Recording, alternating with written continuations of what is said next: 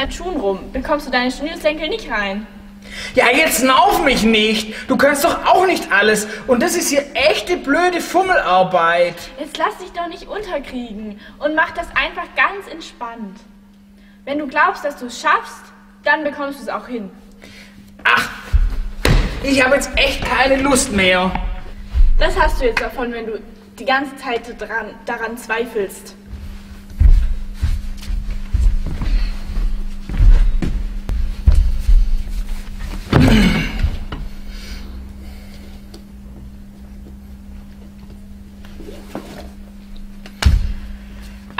Ich höre jetzt echt auf mit dem Quatsch. Jetzt warst du doch gerade fertig und jetzt hörst du schon wieder auf.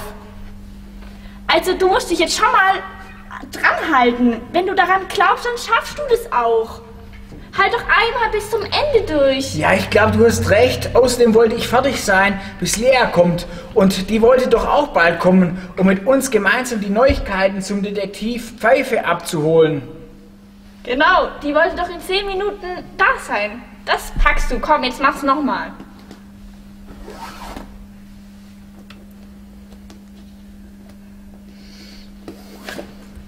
Bis die zwei kommen, hat bestimmt unsere Band noch ein Lied zur Überbrückung.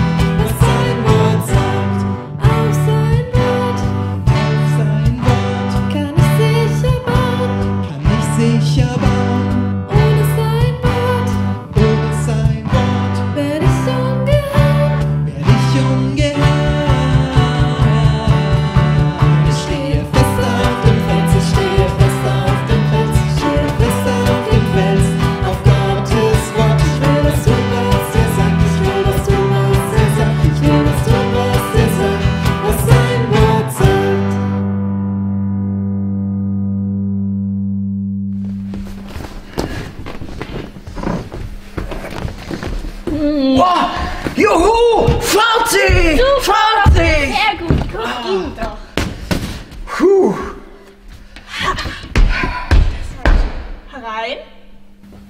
Hallo ihr zwei, ich habe Herr Pfeife auch gleich mitgebracht. Ja, hallo. Oh, hallo. Schön euch zu sehen. Aber das hätte ja auch anders sein können. Warum? Was ist passiert? Gibt es was Neues von meinem Bruder? Wie bitte? Das ist klar, dir geht es nur um deinen Bruder. Aber dass ich mich in große Gefahr gebracht habe, um etwas Neues herauszufinden, das interessiert wieder niemand.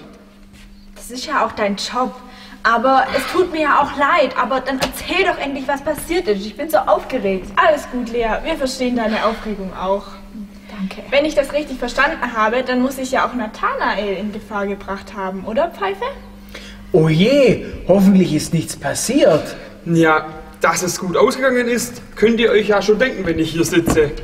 Aber ich erzähle gleich alles. Aber zuvor könnte ich noch ein Lied hören. Oh nee. Also, ich habe auch Lust zu singen. Ähm, also, ich glaube, da musst du jetzt durch, Lea. Na gut.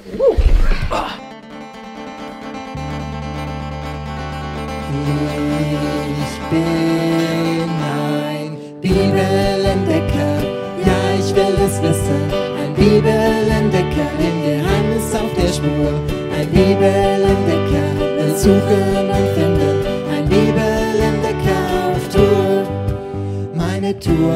Mich heute durch Geschichte. Ich komme aus dem Staunen nicht in Briefen und Gedichten, hier und auch zu Haus.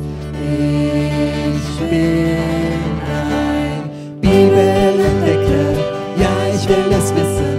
Ein Bibelentdecker, dem Geheimnis auf der Spur. Ein Bibelentdecker, das Suchen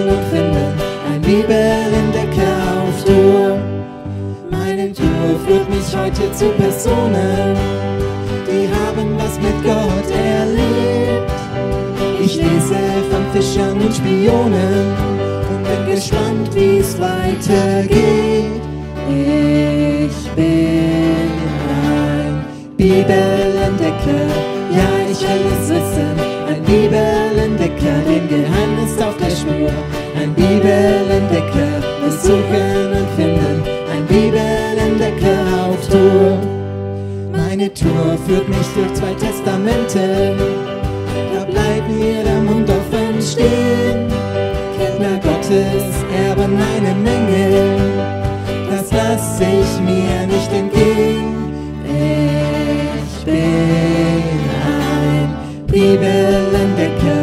Ja, ich will es wissen.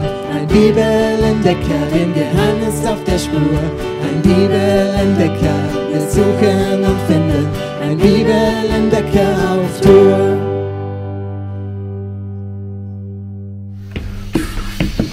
Boah, so. Aber jetzt raus mit der Sprache. Komm, sag uns, was du rausgefunden hast. Ja, ich hole meine Notizen. Also, ich habe diesen Jesus verfolgt.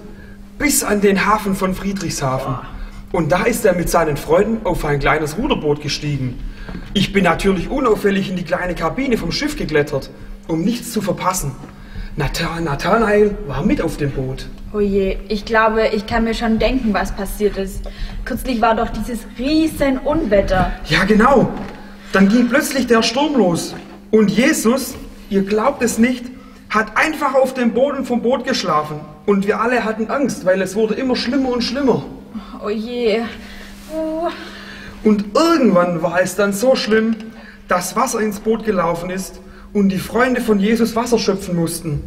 Als es dann aber nicht besser wurde, haben die Jungs Jesus geweckt, weil sie so große Angst hatten. Und was sollte dann dieser Jesus machen? Ja, das habe ich mich auch gefragt. Er ist dann ganz entspannt aufgestanden, hat das Wasser angeschrien, dass es ruhig werden soll, und auf einmal war der Sturm weg und das Wasser komplett ohne Wellen. Ich konnte meinen Augen kaum glauben, was ich da gesehen habe. Danach hat er seine fassungslosen Freunde gefragt, warum sie ihm und Gott nicht vertrauen würden, warum sie trotz seiner Gegenwart so Angst hatten. Also ich wäre ja auch durchgedreht. Ja, ich hatte auch riesengroße Angst.